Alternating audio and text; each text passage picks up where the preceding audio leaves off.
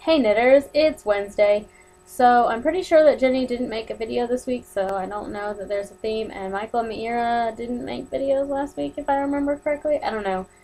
The, this, like, the second half of last week and the first half of this week have been crazy from, like, last Wednesday to today, um, because my school has been doing testing, so our schedule's different. There's only, like, 10 more school days left, so, like, grades have to be finalized, and permanent records have to be updated and blah blah blah. So it's just like a crazy, crazy stuff is happening. And there's boxes because I'm moving next week, and so my shelf behind me there, and hey David Tennant, is pretty much empty. Um, there's like a pile of things over there in that corner that are like packed. Um, so yeah, I'm moving soon. I don't know if I'll be making a video next week because things are crazy here. Um, my brother's getting married on Saturday, and it's just what is my life? Um, yeah.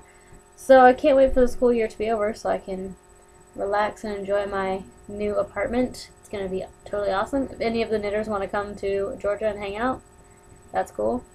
Um, yeah, I don't I don't really know what to talk about. This video is so short. I haven't done any knitting or crocheting. I packed away all of my yarn and stuff. Um, and I don't know what to talk about. Alright, so I guess I'm going to go upload this video and then I'm going to watch the newest episode of Orphan Black, which is an awesome show and I highly recommend it to anyone who is looking for a new television obsession. Alright, um, that's my random recommendation of the week. Okay, I hope that everyone is having an awesome day and stuff, and I will see Meira tomorrow. Bye!